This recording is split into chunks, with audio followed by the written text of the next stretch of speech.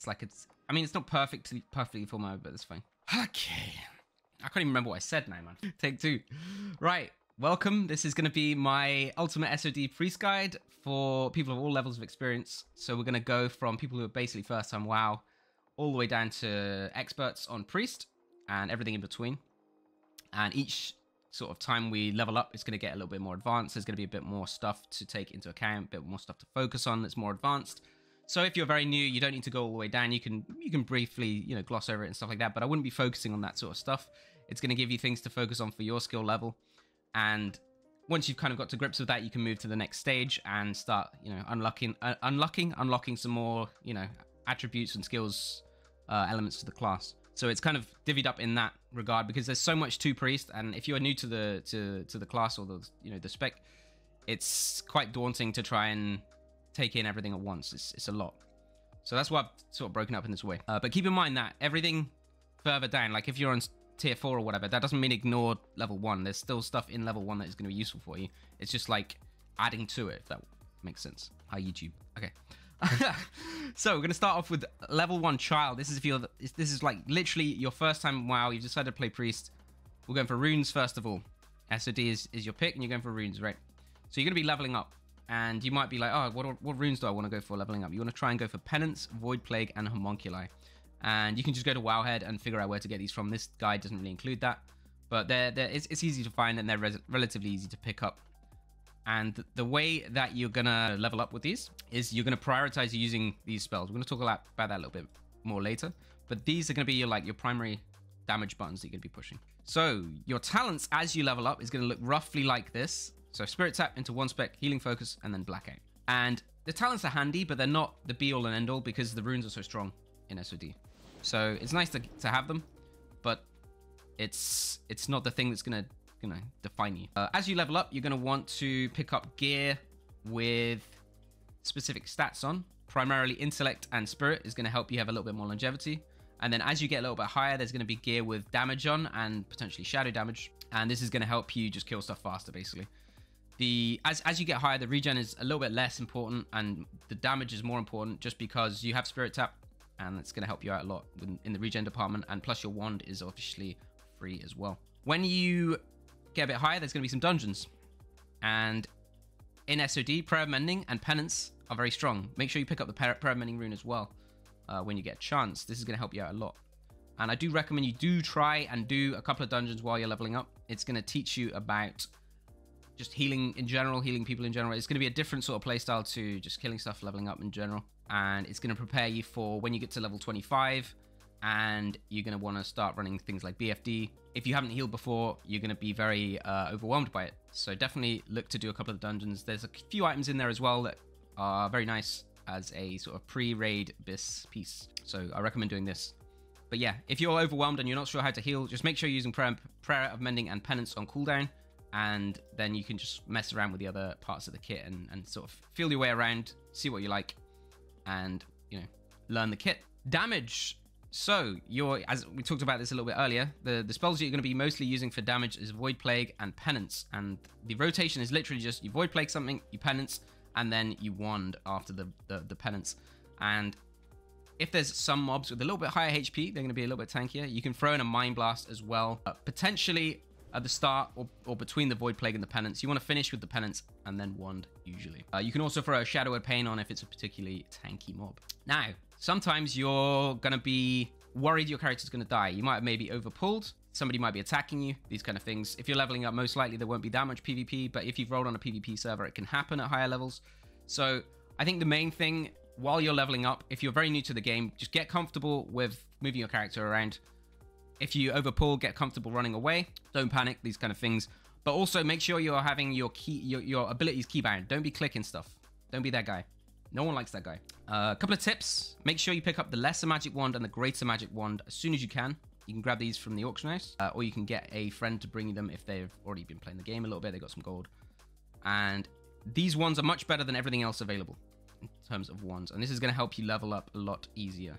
The runes are pretty good, and the runes do a lot of the stuff, you know, in the first sort of 10 levels. The, the runes are very strong, but they do fall off a little bit as you get a bit higher. And so if you've got a really bad wand, it's going to be a lot more painful than if you get one of these. So the lesser magic wand is available from 5 and the greater is available from 13. Next is level 2. So this is if you're first time priest or PvPer, but you've maybe played the game a little bit before on other classes. You've done some PvE, that kind of thing. So you want to pick up the Void Plague, Prayer of Mending, and Penance Runes, and you're going to be running those for both PvP and PvE. And your talents are going to look like this. You're going to run five ones, two out of two imp fort, three out of three imp shield, one out of one inner focus, three out of three meditation, and two out of two healing focus. And this build you can use. It's a nice build for a, a beginner priest because you can use it for both both types of content, and you won't have to keep respecking all the time and wasting your silver. When you're not really too sure what you're doing, you don't want to be respecking messing about with that all the time. As long as you've got something that's pretty solid, then you're good to go. So this spec is pretty solid all around. It's not the best in any regard, but it works all around and it, won't, it, will, it will save you from wasting gold, basically. Uh, as for stats, for PvP, you want to try and pick up stuff with stamina intellect. So if you find some items with high stamina and, and intellect on, hold on to it. It's going to be handy. Usually the green gear will be called of the eagle. Uh, for PvE, you want to be looking to get bonus healing, intellect, and spirit on the gear. And the the more advanced you get, the more bonus healing you can look to, to go for. If you're a little bit less advanced, or your group is a little bit less advanced, you might need a bit more intellect and spirit, as the fights are going to be a little bit longer, so you want more mana to deal with that. When you are healing, again, use prayer of mending and penance whenever possible. If if people aren't topped, if people, if everyone's topped, you can just chill. Uh, if extra healing is needed, right? So if people are still dying after you've done this, uh, and it's they're not, they're, they're taking a little bit of damage, but they're not actually going to die, then you can use the spell heal. And this is your next most efficient spell. If somebody's literally going to die, they're on like 20%. It's looking like they're, you know, they're in a lot of trouble. They've taken a lot of damage in a short period of time, and your prayer of mending and penance are both still a little bit away away. Then this is where you can use either the power word shield or the flash shield. And these are more expensive spells, but they are more emergency tailored parts of your kit. As for damage, you want to prioritize Void Plague. This is going to be your highest damage per mana and yes spell. Very good spell. Uh, and then Shadow Word: Pain. And then if you get a little bit more time to cast, you can go for a Mind Blast. No one's hitting you, or, you know, it's PvE, for example. Uh, and then Wanding. Usually, it's going to feel like you, oh, you want to go for like a, a cheeky offensive penance to do uh, a bit more pressure. This can be good sometimes, but I recommend if you're not that experienced to try and save this defensively as it can it can bite you in the ass sometimes. If you used it offensively you don't have it and then you know you somebody gets a lot of burst damage or you get a lot of burst damage and then you're like oh no. I've wasted my penance now. Uh, and then you have to start using flash heals panic heals these kind of things and it just gets hairy really quickly. So that's why I'm recommending until you're a bit more experienced try and save that defensively. Survival. So if you are getting attacked in PvPs you're max level now you're maybe doing the occasional BG or you're getting attacked in the world the way that you're going to try to survive is you're going to start with a penance, you're going to go for a pom, uh, then you're going to go for a shield, then put renew up, and then after that flash heal, and basically rinse and repeat. You're also going to try and use your fear really early because this is going to force the enemy to either use their trinket or racial to, to get out of it. And your goal is basically to get to the second fear. If you get to the second fear, everything's fine. Uh, a couple of tips. So understanding the five second rule is important on Priest. So the way that the five second rule works, and, and you, you mostly at this point just want to know that it exists. But basically, when you cast a spell that uses mana, all of your regen from your spirit stops. It doesn't do anything anymore. And this, this this occurs for five seconds after you've cast. While you're leveling up, you want to keep this in mind because what this means for you is that in the last few seconds of killing the mob, you don't really want to be casting and using mana because when you kill that mob, you're going to get a spirit tap proc. And what spirit tap does is doubles your spirit.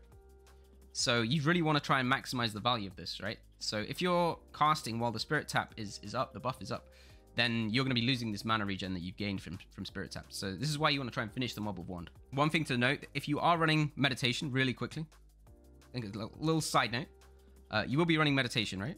This is partially assisting with the spirit regen so that even though your spirit regen is paused, you'll still get that little bit, the 15% of it uh, while casting. So little, little Side note. Uh, and then, yeah, use this macro. This will help you a lot. Cast, shoot. This is going to stop you canceling wand if you spam the button. So a very handy macro here. Next up, we've got college student. Experience, but not on priest. So you've probably played, I don't know, warrior or rogue or whatever. And you're deciding, you know what, priest looks pretty fun in SOD, I'm going to give it a go. So this is this is the section for you. And in addition to everything else we've already talked about, you can keep in mind that you can actually swap out your, your prayer of mending for homunculi. And you can do this in PvE, you can do this in world PvP, uh, and you can do this in duels. That's the, the, main places I recommend doing it.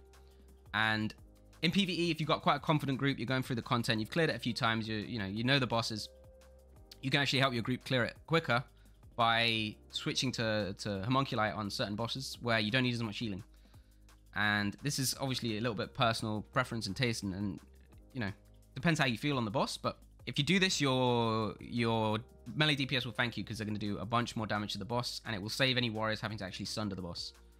So definitely a little min-max min-max tips for PvE.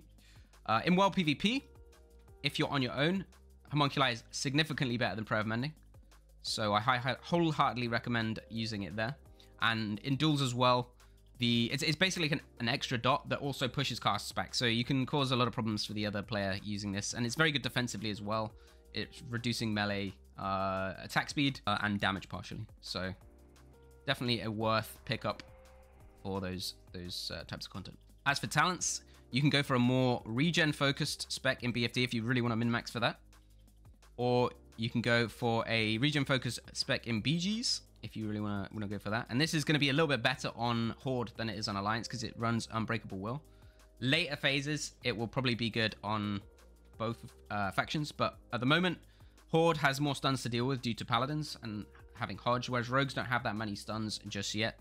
So the Unbreakable Will is a little bit less valuable if you're an Alliance player. As for World PvP, you're going to want to spec something like this, and the, the main difference here is that you're going to be picking up Spirit Tap, and this is really nice in World PvP due to the amount of kills that you're going to pick up. Every time you get a kill, you're going to get a significant portion of your mana back due to the tap. Uh, Blackout obviously is very, very nice in terms of controlling enemy players. If you get a proc, you pretty much you get a significant amount of pressure in the fight, I would say.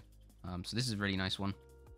And then ones are quite strong uh, currently at the level 25 A's. This will likely change down the line. Uh, I will add new specs in for higher levels. Uh, as for stats, you're going to want to pick up at least 3% hit. Now, this is quite tricky to do at 25, but your boon from Blackfathom will actually give you 3%, plus the epic boots are going to give you 1%. So you should have more than enough, as long as you don't die. If you die, then you're going to be a little bit under hit cap on Loco. It's the, the TLDR. Hopefully, the, the gear in later phases is going to have a bit more hit. In terms of general knowledge, the the conversions are basically one stamina is worth 10 HP, one intellect is worth 15 mana, and 10 spirit is worth about one MP5, but that's while not casting. Remember, if you're if you're casting, then the spirit is reduced to zero uh, or near zero, depending on if you have meditation. When you are healing with prayer of, men- uh, a little bit of prayer of mending and penance, you can also use renew to bounce the prayer of mending. Now, keep in mind that in SOD, prayer of mending doesn't just proc from damage; it also procs from healing. So by buffing renew on players that the prayer of mending bounces to, you can actually continue the bounce on even if they don't take any more damage from another source. And this is going to allow you to get full value out of your prayer mending as much as possible. So generally the way that you heal is going to be pressing your POM, your penance on CD, and then in between you're going to be looking to bounce it with renews. Uh, as for doing damage, once your dots are applied, you can want to try and keep distance between yourself and your enemy. This is mostly for PvP. And penance can be used offensively if you're confident that you're safe. All right, you're a little bit more experienced now, so you can actually greed some offensive penances potentially but you need to kind of know whether the enemy can kill you or not, right? Are they going to be able to connect? Are they going to be able to pressure you? Are you going to need to use the healing? These are the things you obviously need to keep in mind. So now is the time to sort of experiment a little bit more with it now that you're more experienced. But yeah, understand or try to understand if you get punished for it. Generally, Smite and Holy Fire don't get used that much. There are some very niche situations, but a lot of the time the wand is actually uh, a pretty good filler due to the fact that it's free uh, and you won't be in the five second rule when you're when you're using it. It doesn't cost any mana, so you can actually regen as well while using it. So the, the wand is actually very strong at level 25. As for survival, next we're going to look at positioning. And in Raid, pretty self-explanatory. Positioning is mostly about avoiding ground effects or boss AoE. Pretty much the same as any other class. Don't stand in fire, the usual. But if you're doing BGs, you want to make sure you're positioning so that you're the maximum distance away from the, the, the middle Zerg where the general fight is happening. You want to be, you know, that 40 yards back. You've got big range on your heals. You need to use it. And this is going to make you a lot harder to either CC from like mages or warlocks. They have to really push in if they want to get CC on you. So they're really going to be reluctant to do that. And if they do go for it, then they're putting themselves at a lot of risk and potentially your team can kill. And then for melee trying to get on you, you know, warriors, rogues, palas, these kind of things, they have to now push through your whole front line all the way to the back where they can either get CC'd or killed themselves because they're outranging their healers. So this is going to be your biggest way of surviving in BGs. All about positioning. This is your biggest defense. So if you're if you find yourself dying a lot, just think like, did I over push? Did I do some crazy push to try and get a fear? You know, am I overextending to try and heal some crazy warrior that went into their backline and had no idea what he was doing? Like, let him die. Just let him. It's fine. It's all about positioning. You need to stay alive. You're the most valuable person in the fight. In wild PvP, you want to always be running away. So if you know that there are other players coming, or you're fighting a player, run away from him constantly. You have dots. The dots are very, very strong. The longer your fight goes on, the more these dots are going to do damage, and the more likely it is that you kill the person. So the longer you make it take for him to get to you, the less you actually have to heal yourself, and the more you can just run, pressure him, do damage, maybe wand, uh, and and your fear is all that time going to be coming back up. So time is your friend, basically. A couple of tips. You can. So this is a little little wand tech for you, but basically, if you if you start casting your wand, if you press the wand button between the second and the third tick of the penance going off, there's some weird interaction where the wand will actually there's less wind up on the wand basically. If you if you wind after uh, if you wander after a spell normally, there's some weird cast time wind up thing. If you try it after a mind blast, you'll see. But if you do it in this last two thirds of a penance cast, the, the wand often just flies straight out right afterwards, and there's no real weird wind up. So this is going to give you basically extra DPS. And in terms of efficiency, this is your efficiency order for your heals. So you want to prioritize POM 5 ticks. So if you know that the POM is going to bounce a lot, just bang that out on cooldown. Next up is going to be Penance, and the Penance obviously is a better single target heal overall. But yeah, this is, if you're looking to be as efficient as possible, this is what you want to go for next. And then after that, it's going to be the heal. Then after that is Renew, assuming you have some bonus healing. If not, then it's going to be about the same as a Flash. Next is going to be the Pom one tick, then Flash, and then Shield is going to be your least efficient spell that you can possibly push. So this is why we were talking about earlier about how Shield is this very, very much an emergency button to push. This is going to change a little bit at level 40 and beyond because the Mortal Strike effect is going to start being a problem. And what this is going to do is it's going to half the efficiency of everything except Shield. Shield doesn't get affected by Mortal Strike effects. So what this means is Shield is going to be way more of a priority from 40 onwards. And we're going to talk about that later uh, at a later date. Uh, we'll do some adjustments to the guide when it's relevant. Uh, level four, grad student, and this is if this is for the ones that are, are, experienced on priest and they maybe just want to pick up a few more tips or bits of info. Uh, it might not all be something you haven't seen before, might not all be relevant to you, but it's uh, it's it's more advanced stuff. Didn't fit in the previous previous uh, tier, so we're going to be talking about the throughput focused BFD spec and this is going to include holy specialization. And this is going to be for those who really want to get the most out of their healing. They're, they're pretty confident doing the raid. Everything's feeling cool, and they want to maybe do like a nice pass, or they want to maybe solo run it, something like this. The holy specialization is going to make the pom and the penance crit, so they're overall going to do a bit more healing with it. Uh, they're not too worried about their regen, so they've dropped meditation, and overall they just want to want to pump out big heals. Next up, and this is a similar similar thought process in the BGs. Here we go for the Unbreakable Will, and again we've got the Divine Fury and Holy Specialization. This is going to allow for some heals in between the Pom and Penances, and the Poms and Penances are going to be uh, more likely to crit with that extra 5%. So overall, it's it's the only real spec that you can go at level 25 that actually buffs your, your healing. Couple of info, uh, bits of info about stats. So the formula for Spirit while casting with meditation is this, right? This actually. This is the meditation portion, for example. Obviously, the spirit is not going to do anything if you don't have meditation, so that will just be zero. And formula for spirit while not casting, this is uh this is the, in terms of MP5 by the way. This is uh, just straight up 13 plus spirit divided by 4. Side note, you also gain 1% spell crit for every 59.2 intellect. So not only does intellect give you mana, it gives you a little bit of spell crit. Ever so slight amount. Healing's next up. So when you're healing with Pom and Penance, you can obviously down rank using the, the Prayer of Mending rank 1, but you can also down rank with Lesser Heal. And the benefit of that is that it will it, it, will bounce the pom even if the target is topped, if it's full HP. If the, the target is full HP and the rank 1 renew is over healing, it will not bounce the penance. So the renew is better if they're not full HP and you're going to have to bounce a few times, because it obviously ticks a bunch of times. Whereas the lesser heal is better if you want to bounce it slightly faster, because it's a 1.5 second cast versus 3 second tick, or if they're full HP. Next up, survival. And we're going to talk about faking at this point. And a sneaky, sneaky bit of info. The penance currently doesn't show up on the default UI. So most people won't kick it. higher level people, more experienced people, they'll kick it. Most likely they have an add-on for it. But the default UI currently is not showing channels correctly. So you can get away with greeding penance a lot of the time. Now, if you are a bit more experienced, you can try and gauge a little bit more by the way that the player plays, moves, uh, the stuff that they're using, uh, whether or not they are a high enough ability level player to actually interrupt it. That's kind of come down comes down to to your own perception of them. But this is kind of where it comes down to whether or not you're going to greed the penance, basically, or if you're going to go for like the one tick fake, these kind of things. Uh, you can also just go for the initial flash rather than the initial penance. If you think that that it, you know they're actually decent, they might actually kick you. You can go for the flash first and maybe try and fake it. And if you fake the kick on the flash, you're just chilling because you you now have the option to do a full penance and they can't do anything about it. Maybe they can stun it if they're a rogue with the the range stun, but this isn't this isn't often this isn't what they want to do because they'll have to do like a low combo point one or something like that. So it, it messes them up a little bit, causes some problems. Couple of tips.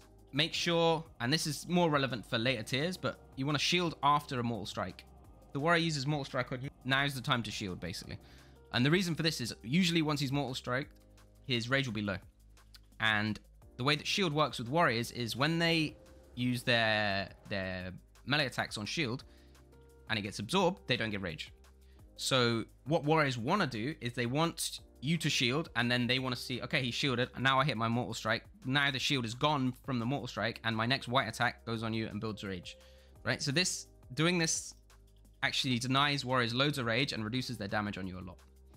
So this is going to be this is going to be an important thing at the 40 phase next tier. Uh, spirit is very, very, very strong as long as you are aware of it and the way it works.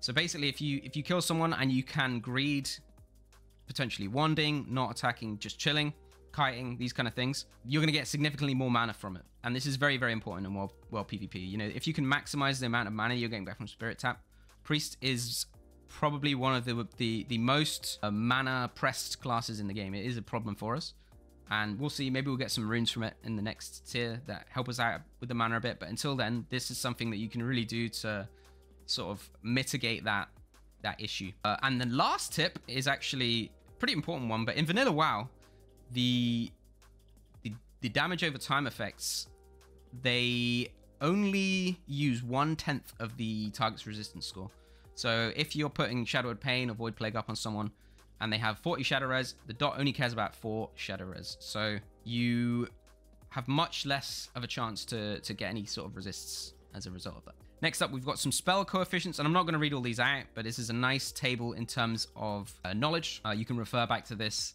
if you are trying to do any sort of theory crafting um, and understanding of the way you know spells work, what's what's worth it, and and how much an item is going to actually benefit you. And here we've also got the the healing efficiency if, healing efficiency breakdown. This actually can go.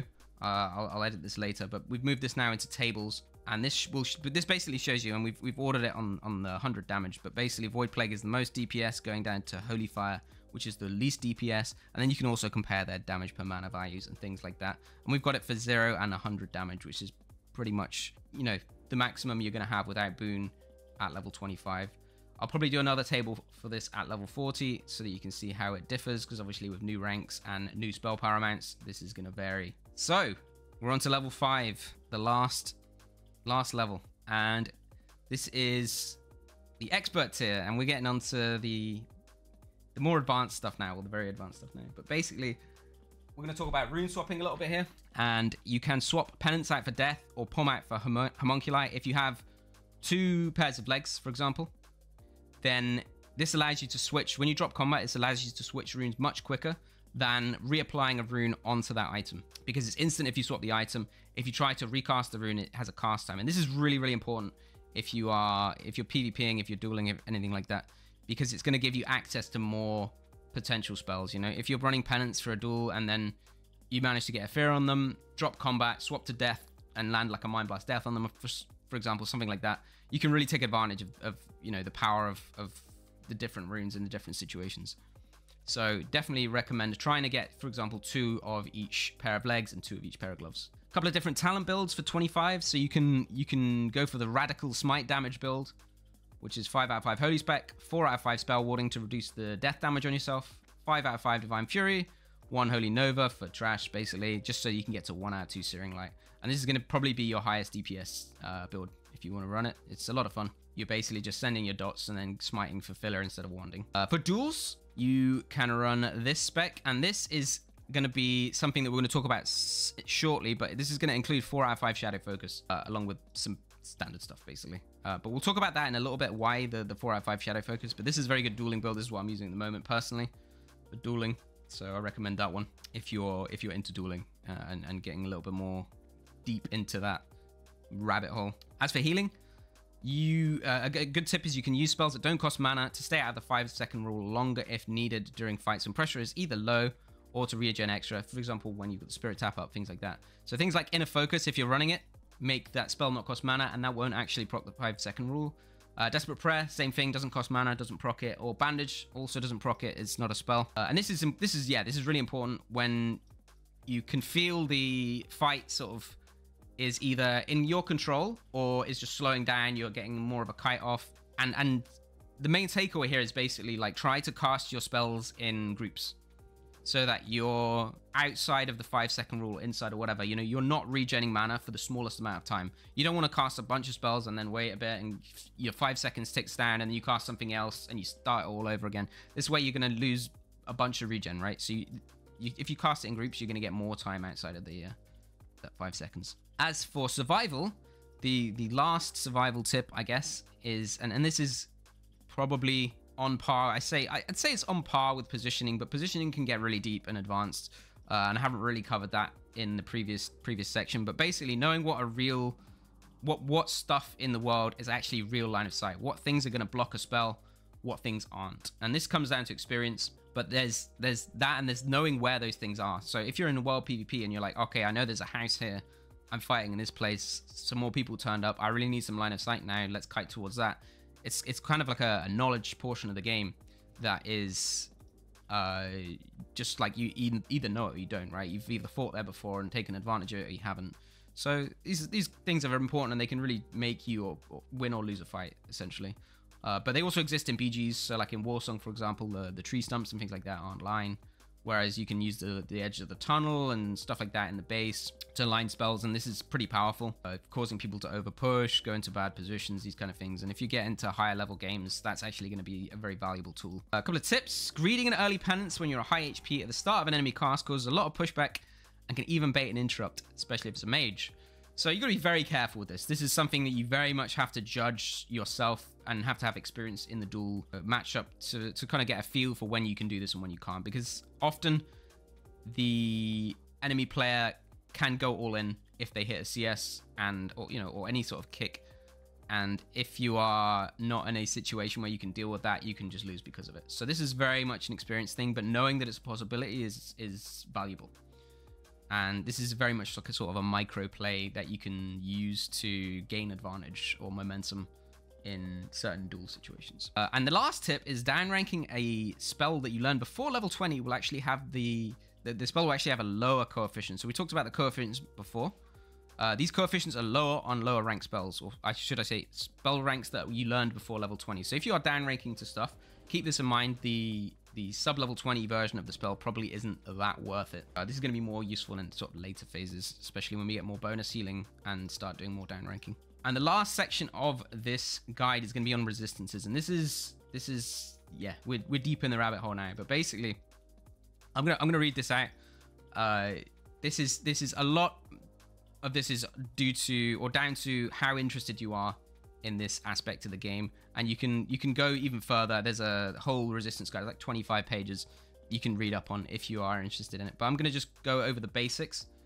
And this is the stuff that actually will apply to you. So it's important that you understand why those things apply. So there are two kinds of resists in vanilla wow.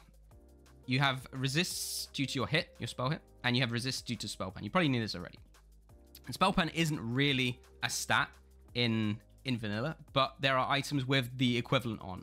For example, the the trinket from uh, from Warsong, the Eye of Moam, that will be accessible at 60. These kind of things, and the, this counters obviously the the resists, right? They both display resist. It's in in comparison to, for example, Wrath of the Lich King, where they will have different messages.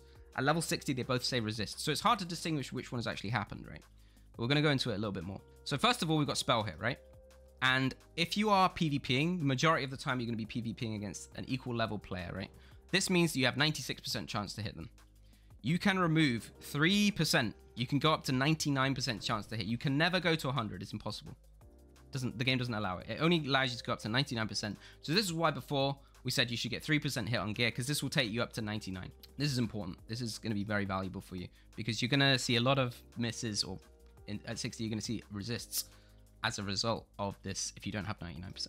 So here we're gonna we're gonna annotate base hit chance 0.96, right? Now spell penetration, as we said, not officially a stat in TBC. Uh, sorry, until TBC. However, we're gonna reference it as spell penetration, and and it's important that you know that this is where you get these this this stat basically. And we're gonna we're gonna call this resistance score, and this is just resistance, which is shadow res, fire res, whatever, minus the spell penetration. Um, so say you have 30 shadow res, 20 spell penetration. Obviously now you've got 10 resistance score. Uh, nice, easy maths. And then we've got resistance cap as well. Now resistance cap is just the level of the caster multiplied by 5. So at level 25, we're going to have a 125 resistance cap. Now, these are important to, to remember for later, what we've, what we've just denoted, these things. So we're going to talk, first of all, about binary and non-binary spells. And this is where these things are going to come into play, you'll see. But basically, binary spells are spells that have a, any non-damage effect, such as a slow, root, stun, or life drain. Right? Examples include Fear and Frostbolt. Now, Frostbolt is considered binary because it deals both damage and it slows, but the slow portion is the binary portion. If, if it has a binary portion, it's binary. The the binary spells are called that because they only have two possible outcomes. They either they either land or they don't. Right? They hit or they resist. There's no partials, uh, and this is why Frostbolt cannot partial. Now, understanding the difference is important because the way their resistance is calculated varies, right? So for non-binary, these spells roll twice. First, it rolls your hit, rolls your spell hit value, and if it says, okay, that's good, you, you pass the spell hit test, you, the spell is hitting, then after that, it does a resistance check, and it says, okay, how much resistance does it have for that spell? Do we do a partial? So, for example, for Mind Blast, you might hit the Mind Blast, and you might have a load of Shadow Res, and it's like, oh no, actually, it's partial, it's only going to hit for, you know, 50%. There's two independent rolls, right? The hit roll and the shadow res roll. Now, this is different in binary spells. The way that binary spells work is there's only one roll. And because of this, it means that both of the hit and the spell penetration actually impact that roll. And what this means is that you can actually reduce the effect of shadow resistance on binary spells by having more hit. So, the spell, the, the talent Shadow Focus is actually really, really important because this gives you 10% hit, right? So this is going to significantly reduce the number of resists that you actually get from Shadow Res. And this is this is kind of a big deal. A load of gear has Shadow Res on right now, right? We're going to have Shadow Prot coming in later. It's going to be Shadow Res Aura from Paladins. There's no doubt going to be more gear with Shadow Res on. So this is something that is very, very, very relevant because our Fear is actually a binary spell. Both Fear and Mind Flay, for that matter. So this is something that is very important to keep in mind, especially if you're playing Shadow, because you will get significantly fewer resists if you run the Shadow Focus talent versus if you don't. For anyone interested in trying out, this is the calculation. So we've got the, the hit chance of the spell, and if you compare this with the spell hit bonus at the end, and without, you'll see the difference. But basically, this base hit chance, which is up here, 0.96, multiplied by, and then we've got this portion, which is the uh, the calculation for resistance, and you just plug these numbers in basically. This is the resistance calculation. One minus that. And then you multiply that by the base hit chance to get your your actual hit value due to spell hit and add it. So this will give you the number and yeah, as you see, this will be significantly improved by this addition here at the end. Now, there are a couple more resist types that I want to talk about. We've got dispel resistance and this is a, a point of much grief for me. But they are there are no dispel resistance talents in vanilla WoW. They get added in TBC and adjusted in Wrath, but there are none in vanilla WoW.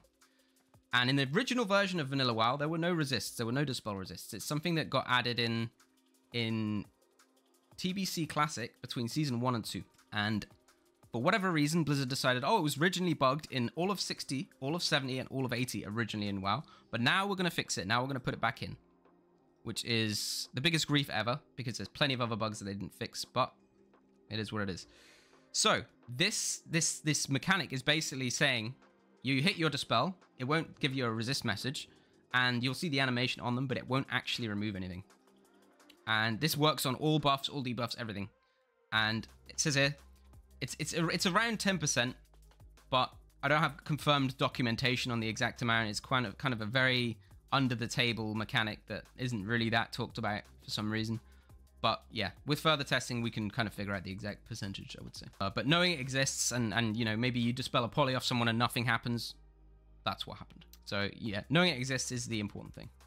So you can react to it accordingly. Uh, it's, it's very devastating if you like go dispel a poly off someone and then go look elsewhere and you look back and they're still polyed five seconds later and you're like, uh, cool. The last part is the resistance talents. And this is things like Unbreakable Will, we talked about earlier. And this is gonna this is gonna affect you on your fear primarily.